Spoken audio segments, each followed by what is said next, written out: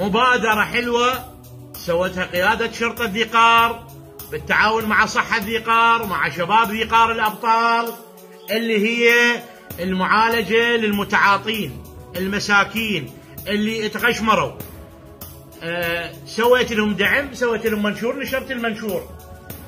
فمن نشرت المنشور قامت الناس تتصل بي من غير محافظات من غير محافظات.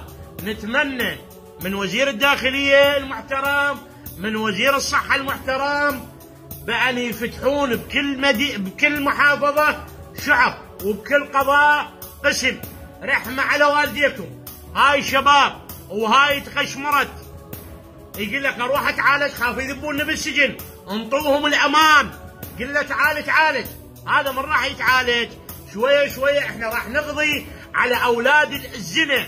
على أولاد الحرام اللي يجيبون المخدرات للعراق راحت شبابنا راحت ولد والله تقول تقول ورود. مناشدتي للشرفاء. هواي محافظات.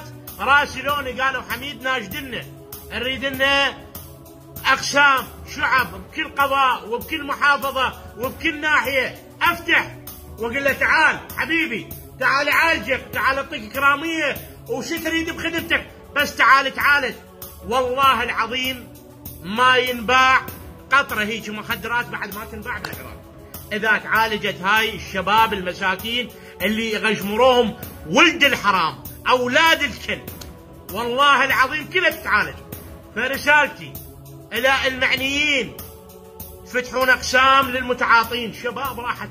دوره هوايه صايرين. بكثرة كثره تتوطح خطية والله العظيم. ويسوي شغلات ما يدري بروحه.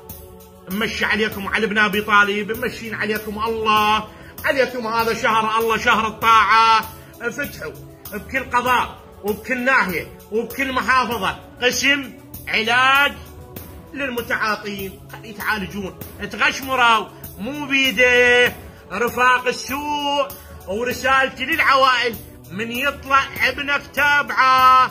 لا تجي بالليل تنطمر ويعلك لا قعدت وابنك برا.